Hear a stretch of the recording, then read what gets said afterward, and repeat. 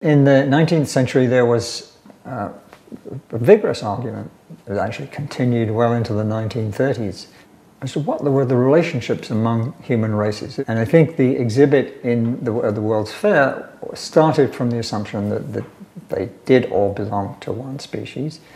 And the, uh, the measurements that were taken, again, head shape, skull shape, skin color, eye color, were to try to establish what the defining features were of each group. Boas was someone who was fairly early on believed that it was important to study the group, not the individual, which is wonderful. He was a statistician, so he was very interested in how, if you took a measurement on a particular feature in a population, how was that distributed? So height. Height is distributed uh, with the, the famous bell curve. It's called a normal distribution. So he was very interested in, in distributions of characters and where the distributions weren't normal and where they were different. I think the, the questions that physical anthropologists ask today focus principally on how did humans be, become the way they are? What happened in human evolution and why? And that's a very interesting and complicated question. And to answer it, you need to have a number of very different approaches. So you need to know something about the fossil record, the archaeological record, uh, the genetic record. You need to be able to interpret the shapes of bones. You look at a character like this, could you make any sense of the way it moved or what it was eating? It's an obvious example if, if you, you're in this business, but not so obvious if you aren't, is skin color. It's now recognized that having a pigmented skin in the tropics is an adaptation to pr protect the inner layers of the skin where vitamin D is being synthesized. And if you get too much UV radiation hitting that, it messes up vitamin D synthesis.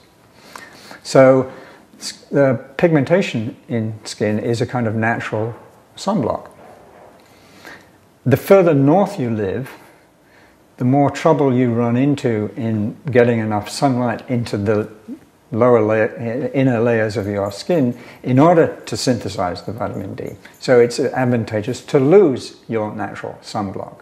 And that's why, as you go north and south of the equator, you see populations that are less and less pigmented. So, skin color is an adaptation. It tells you nothing about the relationships of individuals. It just tells you that individuals uh, now live or their ancestors lived in the tropics. The ability to sequence lots of DNA in lots of individuals has been completely transformative for not just the field of human evolutionary studies, but evolutionary biology in general. In the case of human evolution, we now know that our closest living relative is the chimpanzee and a more distant relative is the gorilla. It's also been transformative in the way that we think about humans. It turns out that the amount of genetic variation in, in the human species is actually quite small compared to what is the case in most other species that have been studied. It's also changed the way we think about human variation. If you think of the human species and ask what's the total amount of genetic variation you see within the species, and then ask how much of that variation shows up in local populations, such as Ethiopians or Norwegians. What surprised everybody, I think, was that the something like 85% of the total variation in the human species resides in these more local populations. It's astonishing. And it, it, it's a function, among other things, but, but principally, of the fact that we're a young species and we haven't had that much time to differentiate on a, on a geographical level.